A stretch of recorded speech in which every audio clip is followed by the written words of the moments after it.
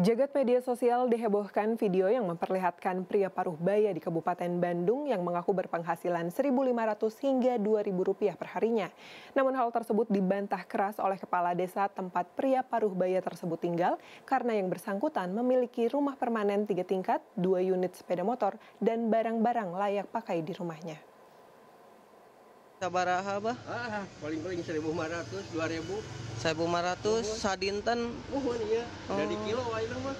Dalam video berdurasi 59 detik ini, kakek yang diketahui bernama Tono nampak seperti seorang pemulung dan mengaku berpenghasilan 1.500 hingga 2.000 rupiah per harinya. Dirinya mengaku sering menahan lapar dan tidak makan. Melihat kondisi ini, banyak warganet yang berempati dan prihatin turut mendoakan serta membagikan postingan tersebut ke akun-akun pemerintahan.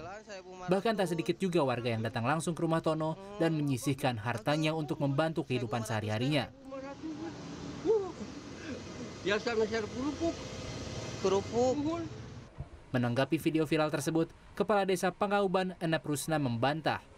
Kehidupan sehari-hari Tono tidak memprihatinkan sebagaimana yang diceritakannya. Tono memiliki rumah bertingkat dua dan sedang membangun lantai ketiga. Di rumahnya juga ada dua sepeda motor, perabotan, dan barang-barang yang layak pakai. beliau mengaku di mensos kadang makan kadang enggak itu salah betul pak anaknya sampai marah-marah dia dicukupi sama anaknya pun juga masalah makan karena dia satu rumah dengan anaknya Usai memohon maaf di hadapan aparat desa dan Muspika Katapang, Tono dan keluarganya memilih untuk mengunci diri di rumahnya. Pemerintah berharap agar kejadian serupa tak terulang dan dapat dijadikan pelajaran oleh yang bersangkutan. Chandra Febriana, Kabupaten Bandung.